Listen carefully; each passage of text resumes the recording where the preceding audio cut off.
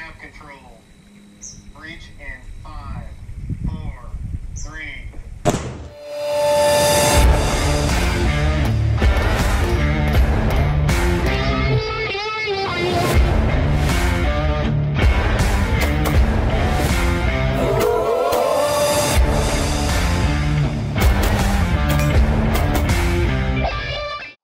What's up, guys? I'm Uncle Freedom coming to you on a pseudo day off. I had court today, hence my hair doing whatever it's doing. It's windy as hell. Um, but I'm going to do a video today at the request of something that came up in one of the concealment videos, and that was to talk about Phlster holsters. So we're going to do that because it's kind of a really cool concept. Uh, so that sounds fun and interesting to you. Go ahead and like, subscribe, tell a friend channel's growing. It's amazing. I appreciate it and I thank you. If you're looking to get in touch with me, it's Uncle Freedom 213 on Facebook or Instagram or F Uncle Freedom 213 at outlook.com. Take a look down in the description box below if you wish to support the channel. All of the affiliates of the channel exist down there. Uh, there's a Linktree account that'll take you. Everybody's there that supports me. If you were going to do it anyway and use those links, I thank you. If you're not looking to do anything, like and subscribe, tell a friend, share the video, because that does help as well. Every time you like it, tell somebody just like you that I exist, and that's kind of neat. So when we talk about holsters, so for the longest time, I was like everybody else. Um, you're inundated with things like the T-Rex Arms sidecar, um, which is not a bad holster. It does now. The, the as my tastes have evolved, there are things I don't like about this. And then my first real flip down that road where I got a hold of something that was very different from the norm was this guy. This is the Tenicor Keradim Lux. I have an entire video to this. I'll leave a link up here. It's a really cool holster. And once you get hold of it and you start messing around with it, and you're like, man, this this just feels and fits different than the other holsters. So this is how you get hooked, right? Because you're like, all right, this is different. Well, I am a big fan when I'm at work. I listen to podcasts, I listen to books because I'm a student. I'm a student of everything. I learn constantly. I learn from some of you good people in the comments. Sometimes people will bring up something that I did not know. I will go research it further and be like, man, that's really cool. Let's add that. Uh, and this is one of those cases. I'm listening to this primary and secondary podcast. If you haven't listened to it, check it out. It is awesome. There's well over 300 episodes. There is tons of gun and gear stuff in there, mentality, theory. It's awesome. Um, and one of them I was listening to was like uh, it was a concealment video, or it could have been holster literacy. I can't remember exactly which one, but it had John and Sarah of Phlster holsters on there. And they were discussing things known as concealment mechanics. Now, as a concealed carrier, I will tell you, much like you, I have altered and modified things to make them work better for me or to hide the firearm better. But I never really went into the weeds. And I had heard of the Phlster floodlight before because one of the people that I put a lot of stock into what they say as a fellow instructor is Aaron Cowan. Sage Dynamics. The dude is awesome. Um, I, I I love the stuff he puts out. He talked about the floodlight in the video, and I was like, huh, I need to need to file that away. So in watching this video or listening to this podcast, they are discussing some of the stuff that they do as a company. And something that really hit me was they said, we're not a holster company. We're a concealment technology company. Okay. So that's a neat concept. Now, Phlster makes a lot of stuff. They make a lot of very like specifically molded holsters. They don't offer a ton of stuff, nowhere near the volume and kinds and types of stuff that like T-Rex or, or you know uh, offers. But what they do, they do incredibly well. And in checking this out, I came across their Enigma, which I'm going to get. I don't have one yet, so I won't speak on it, but I will tell you I have watched people in the Phlster Concealment Workshop Facebook group in slacks and a button down shirt that's tucked in draw a handgun that I could not see in the same amount of time I draw a handgun from concealment in appendix with. And I'm like, oh my God, whatever that is, I must have it in my life. Um, so I'm going to be looking into one of those. I am very curious. Um, there's no way in hell that Phlster or Tessa Booth of Armed and Style is paying attention to what I do. Um, but if you are and you wish to uh, send me one of those, saving the money would be great. If not, I'm going to buy it anyway because I think it's cool. So, does that mean now that I'm looking at Phlster that other holsters are obsolete? Absolutely not. No. Henry Holsters, JM Custom Kydex, Dark Star Gear, Tenicor, and Phlster are the companies that you hear people that know this and do this for a living, or in places where can, if the gun is not concealed, they get into trouble. Those are the companies they're running. I'm going to pay attention to people that that's their life because they know more about it than I do. And the Phlster stuff just really intrigued me. And what really intrigues me about the Phlster, specifically the Floodlight series, is the fact that it indexes off of the weapon light and not the weapon, which means if I have, example, two or three Surefires, and I love Surefire lights, and I have a SIG, a Glock, and a CZ, for example, because that's what I have in front of me, and I have those lights on there, I don't need a CZ with a, uh, an X300 holster and a, a SIG with an X300 holster, and then a you know maybe I have like the a, you know full size, and I got to have the full size version with this, or the P09 and the P07 with those, and I have to have two additional holster for that. No, as long as it has the light on it, the gun fits in the holster and it works. That saves a bunch of money, and the thing is, they're not like they're not stupid expensive. So take this for this is how I started. That's how we got there. So first off, let's uh all right. So this is my service pistol. Gen 3, Glock 22, 40 cal, Tyrant CNC Magwell, Modlite PL350 G2. This is a big honking firearm. And I carry this on duty. So I figured the best way to try this would be to buy the floodlight for the uh, Modlite PL350. I can put this light on Glock 19. I could put it on a Glock 23. I could put it on a 10 mil Glock. I could put it on my P09. I could put it on uh, a Shadow Systems Glock. I could put it on my P320, and it will go into this holster and conceal. That's insane. It also saves a ton of money. This is just cool, man. And these guys have no freaking idea who I am, other than the fact that they've taken my money a few times. But some of what makes this holster neat is um, you'll notice there is no left or right hand. That is because this guy is drilled out exactly the same on both sides. So if you're lefty, same holster I've got. You just switch the stuff around.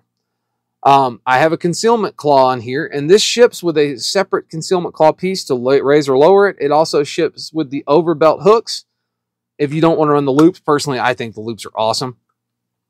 But what makes this holster function is the fact that the retention on the firearm itself is based off of a shock cord system. So let's pull this guy out. Actually, we're going to stay on the same one. So what I basically got here is shock cord.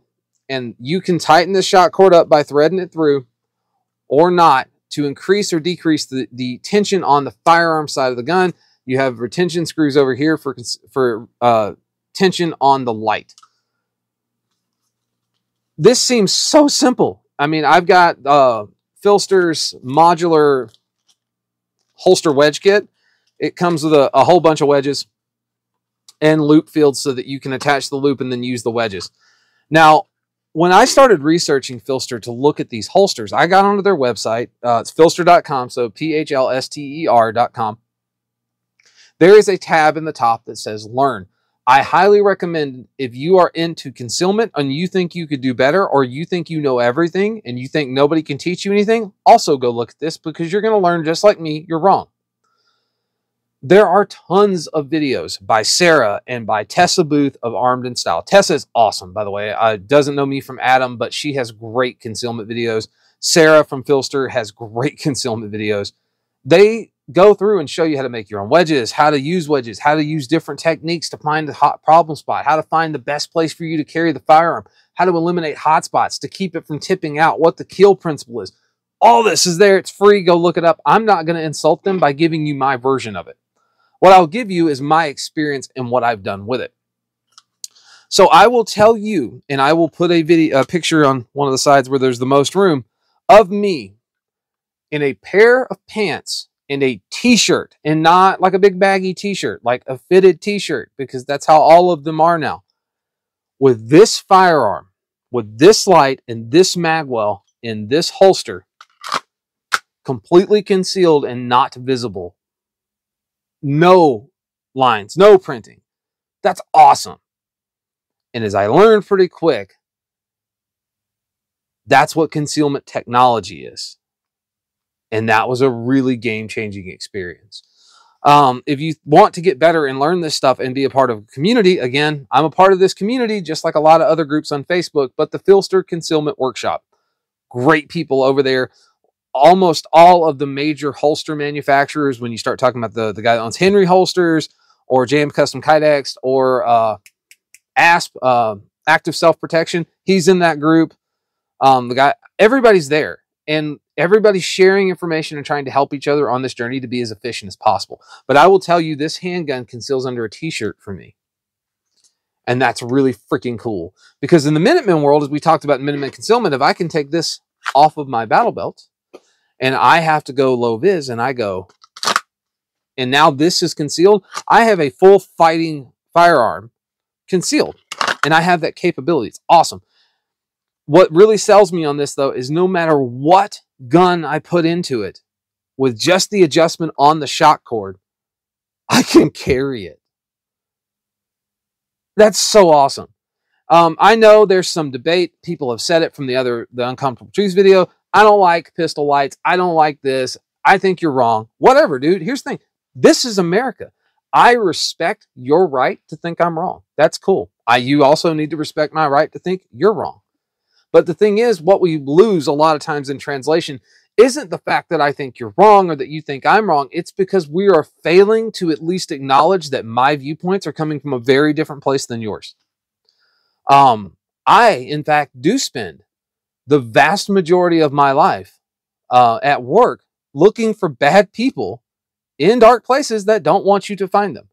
I also deal with all of the crap lighting stuff, low pressure sodium lights, transitional lighting, uh, photonic barriers, crazy stuff like trying to see through window tint or through the headlights of a car to identify a threat in a car. The stuff I deal with on a day to day basis are what influences my decision on a weapon mounted light, why it's so important. And trust me, I'm going to drive this stuff home in the low light video. If you have any, any questions about it, I'm going to do my best to answer them. Um, and I'm gonna shoot. I'm gonna. I'm not just gonna talk to you from here. We're gonna have video footage and everything of me out doing this. If you've been following the post, you've seen me taking pictures and video out on the range or uh, out at the airport already, looking at this. It's a game changer once you get exposed to how you're wrong uh, or why that that decision was influenced. So for me, I if I have the option now, I do love my smaller concealed flashlights. Like TLR 7A, I'm going to tell you right now, if you're going to pick a smaller light because your gun needs a smaller light. 7A, 7 sub, this is where it's at. Period. I don't know of anything that is this good. Period. Um, they're perfectly fine and functional. No, you're not going to do a, bunch of the stuff I do with the duty gun with this light. But if you've identified a threat with a flashlight and now you need to use both hands, this is pretty good. Um, but what I think is so cool because I run full size lights, so I can have things like there's an Ultra, there's a Turbo, right? I can put these on whatever gun I want. Same thing. TLR 1HL, one of my favorite lights. This thing right here, I'm gonna gonna go ahead and uh, preview this for you. This X300 Ultra gets smoked every day by this TLR 1HL. Just because it says Surefire doesn't make it better. This thing eats it. But I love the TLR 1HL. I have six or seven of them at this point. But I love firearms like the CZ P07, the P09. I love the X uh, the X carry. I love Glock. And it turns out if you go to the version 2, which is the newest version of the floodlight, this is what you get. And this is for the TLR1. If I have a Glock with a TLR1, I have a holster for it. If I put this light on any other firearm, and I stick it in here, I have a freaking holster for it. So they did some new things with this guy here. This one ships with the two different kinds of shock cord, but that's it. Again, the Phlster wedges that I ordered uh, separate and put on shock cord to create the tension on the body of the firearm. Tensioning screws for that of the light. These ship factory with discreet carry concepts clips. They are also fully ambidextrous. They have this new technology called ComfortScape. Now, I'm not gonna lie, when I saw that, I'm like, uh huh, good gimmick. It actually freaking works. Um, so if you carry appendix, you will notice when you take your holster off, this is all super wet and sweaty. Um, and yes, I immediately covered up my ComfortScape and put a wedge because that was more important. But it actually does vent some air pretty well. I love the inclusion of the discreet carry concept clips. They're very tough. Um, incredible retention. Even if you don't have them on a belt, they hook up just fine. But any gun I want to run with a TLR1, I put light on gun, I insert gun in holster, and I have a concealed carry rig. And that is freaking amazing. Um, these are about 130 ish dollars. Uh, the wedge set's like 30 bucks, I think. But if you are a full size light carrier, and there's a lot of benefit to carrying a gun, a holster this long. Even when my Glock 26 is in a 19 holster because it gives me more depth below the belt and it keeps my keeps it below the belt so that my stomach and stuff doesn't push the gun out and print. Now something else that's where these wedges come in. These fill the gap and actually push the grip back further to my stomach, helping me to hide it better. Same thing as what the claw does. The claw pulls that grip closer. All of that works in harmony in perfect union to create this giant monstrosity of a package that I can appendix carry under a t-shirt and you can't see. Good holsters make a difference. Now, am I revising my recommended holster list? No, I still think Tier 1 Concealed makes good holsters. I still like my T-Rex stuff. I have several. I still run them. Um, I had somebody that uh, was very upset that I had recommended Tenicor and I didn't cover it, but I, I, don't know if they didn't watch that part because I actually had Tenicor wrote out because I just said Keradim holsters. This is the model. It's the Keradim Lux. I adore Tenicor holsters. I honestly, if you wanted my opinion, I don't have experience with Henry, J&M Custom Kydex, or Dark Star gear. Maybe I will do my best to get my hands on them just so I can speak eloquently and informed and educated on them. But I'm telling you right now, if my option from this day, from going forward, was to pick a holster fitted to a handgun, I'm buying a Tenicor. End of discussion. These are amazing. Uh, the Henry Holsters has a really cool light bearing holster as well, but I've never tried it. Um, I might have to reach out to them and uh, see like what I need to do to get my hands on one. Um, I might just order it. Uh, depends on how busy they are. But I love this freaking holster. But I will tell you, the ability for me to get off work, pull out my duty gun, drop my extended mag with the base plate on it, put a flush fitting 15 round mag in here, do this into the front of my pants, and I am concealed carrying the exact same firepower that I left to work with is awesome, man. It's, it's, it's a different game. The Floodlight 1 is only available for the PL350, so if you have a PL350, there's a good option for you to look at. The new version of it with the ComfortScape, I will tell you this is more comfortable than that. It is a noticeable difference. So if you have a PL350, you're going to be bummed. But if you run the other lights, the Streamlight or the X300 or the TLR1, you're in luck because that's what these are made for. And this thing is freaking amazing. Um, I, I, I just, I, when people are invent ways to do things more efficiently that cost me less money in the long run, I'm really appreciative of that. And these guys do that. Like I said, 130-ish, 140 bucks to get your hands on this holster right here with discreet carry concept clips. Much better concealing than most things you're going to get on the market. I can run any freaking handgun that'll accept a TLR1 in this holster right here. No problem. With optics, without optics, with a comp, it doesn't matter because I have a big open bottom. That's it. This is just stupid simple solving of a problem. But this is one of those examples where the simplest answer to solving the problem was the best freaking answer for solving that problem. This is just cool. It works. I am stoked on these. Uh, if you can't tell, I'm very excited. I love this. I will be ordering one for the X300 because I don't have one. And uh, I feel like I need to give them a fair shake with the X300 lights. I know there's another one out there. Tier 1 Concealed makes one. It's for the Modern Samurai Project. I reached out to Tier 1 Concealed to talk to them about wait times and how long it would take me to actually get one of those. I have not heard back from them yet, but I would give it a fair shake. And I'm going to be honest, if it sucks and it's not as good as that, I'm going to tell you. Here's what I'm going to tell you, and this is what I'll leave you with. If you want information, which I know you do and you should be striving for it because we don't know everything and we should constantly be looking for ways to learn more. For those people that think, I speak from a high and mighty place because I know it all. I don't know anything. I know what I know because I have a lot of experience under my belt. I have put myself in very bad situations in my life and I've come out of it. And I do this for a living. So, but I understand that I don't know. And part of being smart in, in, as you get older is knowing that you don't know stuff. Like that's the hardest thing to learn as an adult. You don't know everything, and it's important that you understand that and then go find the people that do and learn from them. I do that. Be a student of the gun. Always look for better knowledge, more knowledge, and try to improve yourself. That is the game. I highly recommend it. Get on Phlster's website. Go check out the Learn section with Tessa and Sarah and John. Um, Armed and Styled is Tessa Booth's uh, YouTube channel. She does a lot more uh, female friendly content with how to conceal and some of the unique problems they have. But her concealment techniques video, multi-gender, who cares? She is awesome.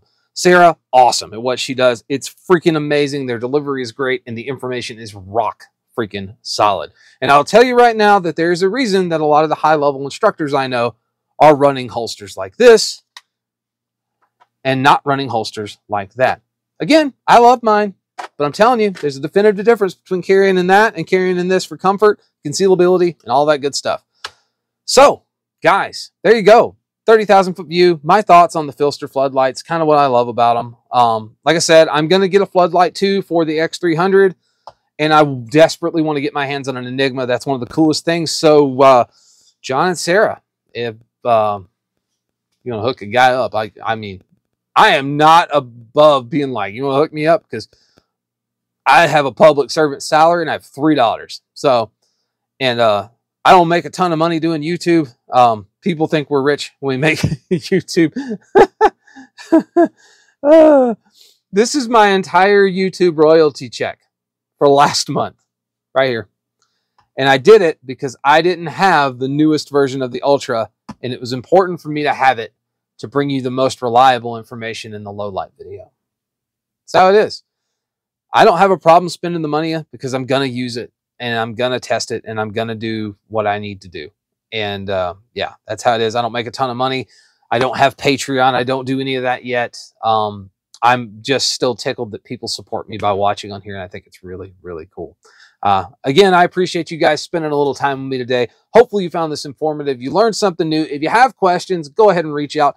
If you have a holster company that you like their holsters, leave it down below because I would be interested in finding out if there's a better mousetrap. Those of you that watch me on Facebook all the time, I will leave those kinds of comments and posts all over the place. And it's uh, people get mad because they're like, you don't know. And I'm like, it's not that I don't know. It's that I want a better mousetrap. And odds are there's a guy in that group that's figured out how to do something better than I have. And I want to I want to take that information, use it, and bring it to other people because that's what this is about. So, guys, take care of yourself, take care of each other. Until next time, I'll see you later.